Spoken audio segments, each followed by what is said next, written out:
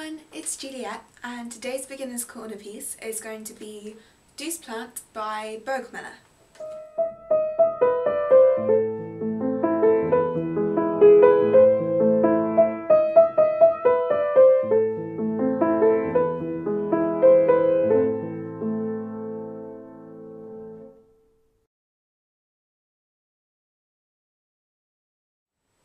So I'm going to play it to you first so that you can see what it sounds like.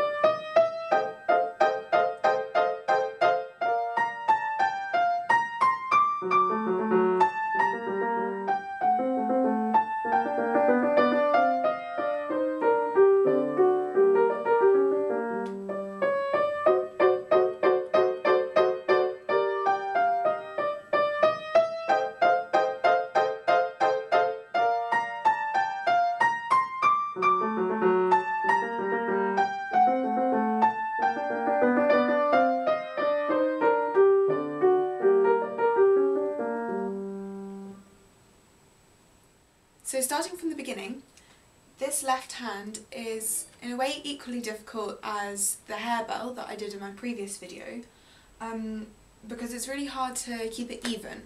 So I'm just going to suggest the same technique for that as I did in my previous video to keep it even and that's to play each note twice so like that.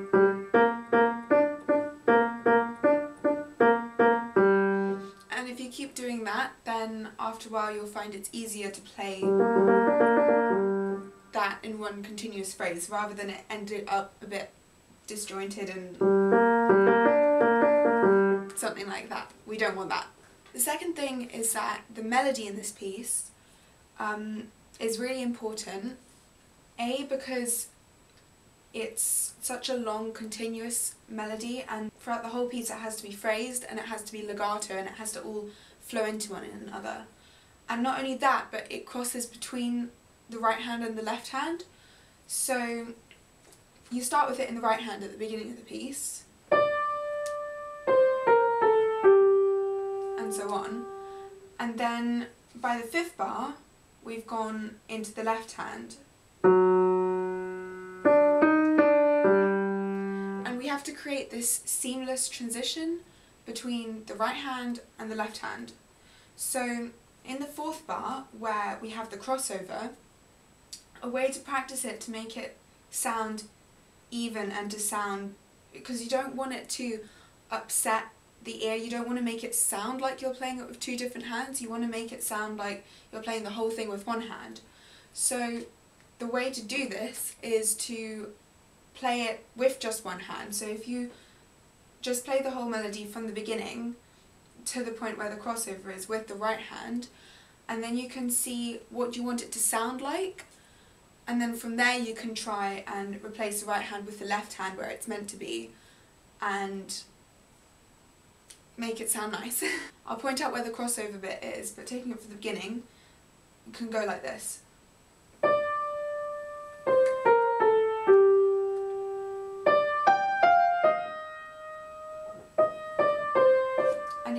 Crossover.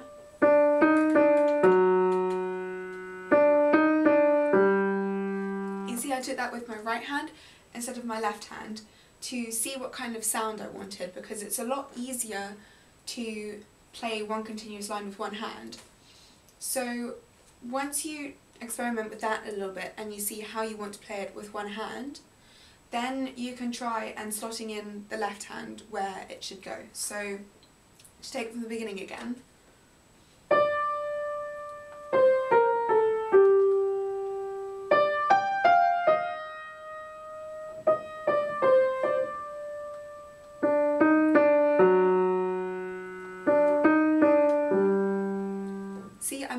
Seamless transition between the right hand and the left hand.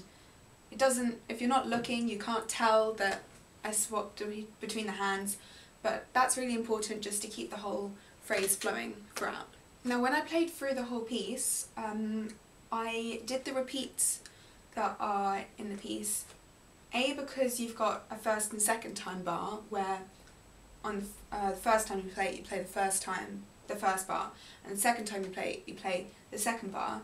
So that's one of the reasons why I did it, but also because this is such a short piece, and I think it's important to um, use the repeats to show variety. Now, as I said in my previous video, when you have two things, uh, two parts of a piece that are the same, a way that you can make them sound different is by playing uh, one of the times louder or softer than the other. It doesn't matter, but it's a nice idea to make it sound different. So for this piece, the simplest way and probably the way I'd actually recommend to do it is to um, probably just play the second time a bit louder than the first time. I think that that sounds better. It hasn't doesn't have to be overboard, but it does give it a nice sense of variety. Now moving into this second section where we have these staccatos like. Um, the first thing is that this is the first time you have staccato in this piece and it makes such a huge contrast with the legato, you know, this legato that you had. But this is the first time you have something short and spiky and you really want to play that out. So in the bar leading up to it, you've got to make sure that that sounds perfectly legato so that when you move on to the staccato bit it just it stands out kind of it sounds like a change and it sounds different so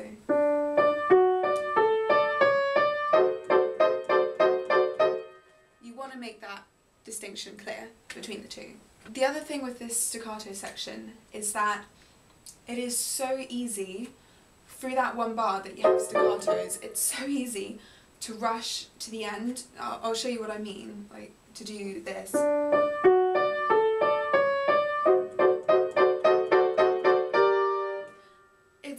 To do, but you mustn't do it because it sound when when you do that, it's because you want to make it sound like it's building up. It's building up to the end.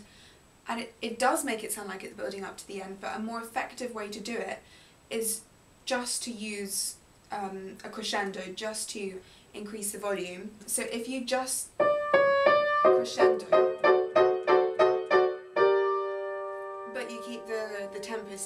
then it just sounds sounds so much better because if when you're rushing it it just you do, it doesn't sound professional to put it that way. So to play through that build up for you and I'll show you what I mean.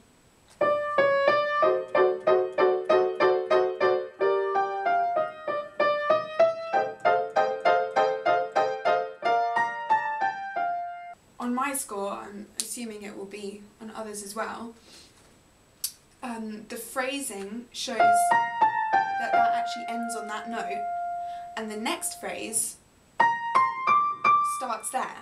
Um, so I think that it's really important to just separate those two phrases a bit because there's a lot going on at that point.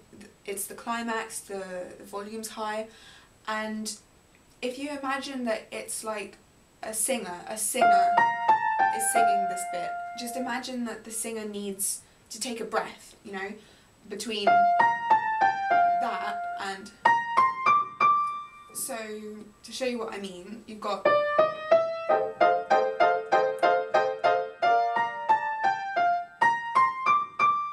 That was a bit exaggerated, but you don't want to make it blindingly obvious, you don't want the audience to be like because they feel the gap, but you you don't want to rush straight into it because there's already a lot going on.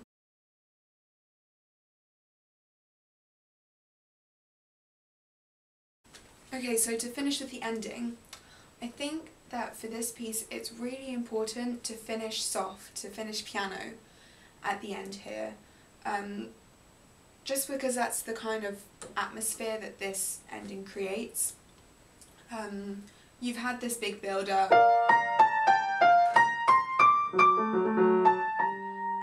To the end, you, you just want to say, okay, that's it, that's over, this has been lovely. You know, with this ending that goes like this.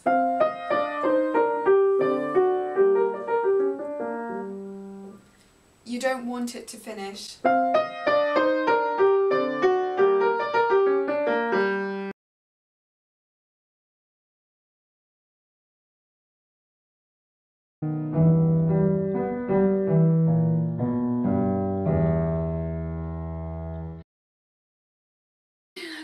Really loud because that's just not what it is. That's not what it's saying. It's a kind of gradual dying away, just saying, you know, it's all over like one big sigh.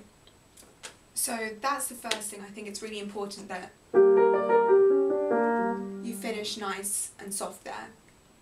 And the final thing is, is this kind of like a repeat of what we did with the melody in the beginning, but here you've got this crossover between the hands.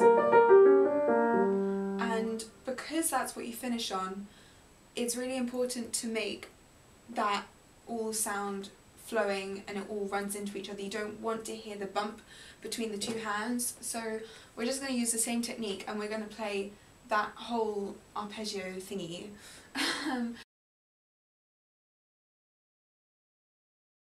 with your right hand just to see how you want it to sound and then you can copy that sound with the left hand. So you would do it like this. And that's actually hard because of how it's written. Obviously it's written for the left hand. But if you can master that and get in your head how you want it to sound, then you can really easily copy it with the left hand and make it sound flowing and continuous. It, it's not easy, it does require work, um, but if you can really get that to sound like you're playing it with one hand then it just sounds so much better. I really hope you enjoyed this video. If you did, give it a thumbs up, subscribe, turn my notifications on so that you don't miss another video and have a lovely day. Bye!